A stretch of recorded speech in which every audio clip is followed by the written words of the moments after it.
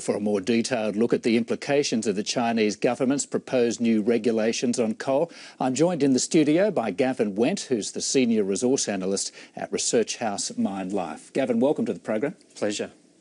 Whatever the impact on coal exports, Australia's second biggest customer is saying that coal is very bad for the environment. Can the coal industry ignore that? Well, that's certainly part of the uh, the current debate. That's certainly part of their position. Um, it's reflective of, I guess, a growing uh, movement in uh, advanced economies over recent years to focus more on air quality and emissions regulations. And, and, and we've seen this in the United States. Barack Obama, you know, one could be said is, uh, is, is quite anti-coal. Um, but in the case of the United States, of course, they've got uh, shale, uh, shale gas uh, to, to fall back on, so they have alternatives. But this is not something new.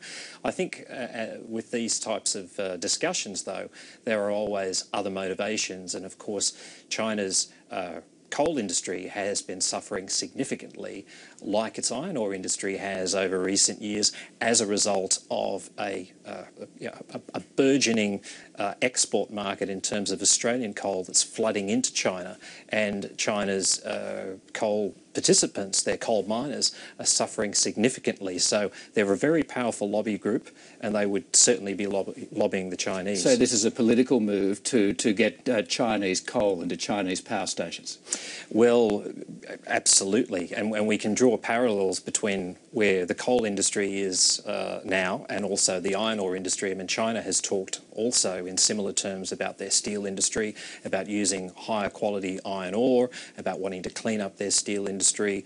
Um, uh, I guess, get rid of some uh, a lot of smaller, heavily polluting players. Essentially, what that's all about is is bringing the steel industry more under government control and concentrating production within, uh, I guess, larger uh, players. Well, well, given that China has made this big statement on pollution, uh, is Chinese coal regarded as low emission coal? Well, Chinese coal is, is fairly ordinary. So, uh, you know, like like their iron ore is. So, um, you know, Australian product quality is very, very good. So one would imagine that uh, the, the, the, country that's going to be impacted the most from this initially is Indonesia, which produces very low quality coal, probably similar to what China produces. Australia has options in terms of being able to, I guess, upgrade the coal through washing and that sort of thing. That will add to costs but I think uh, that's something that's manageable.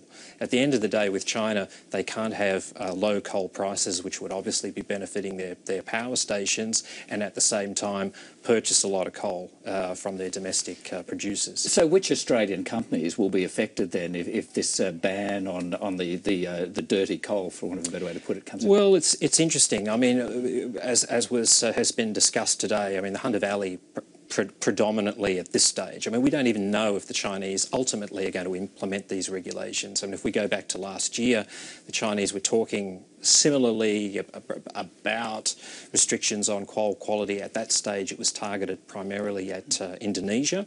Um, that is yet to be implemented. So these this particular recommendation is far from actually becoming a reality, but let's assume that it does. Um, Australia is a reliable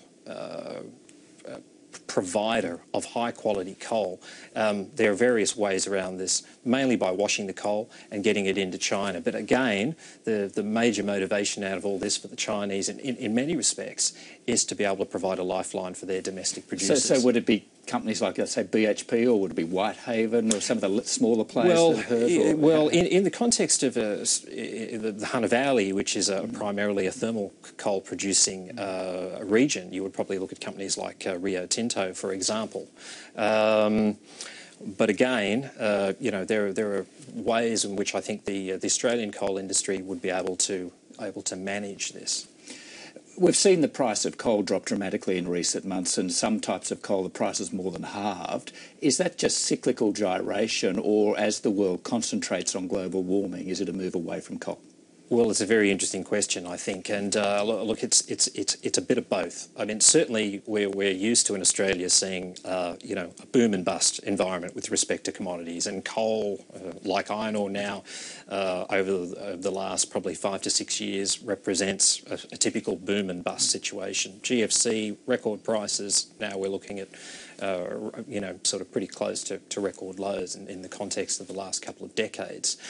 However, um, there is a broader issue as far as coal is concerned. As we talked about at the beginning, with the United States moving more away from a, a reliance on coal and towards other alternative energy sources such as such as gas, um, uh, there is certainly a situation where um, this is a big picture issue as far as coal is concerned, as far as thermal coal is concerned. And most advanced economies are looking at this right now. Um, it's a different situation in emerging economies because they probably don't have a lot of no uh, choices. Yeah, yeah. Absolutely.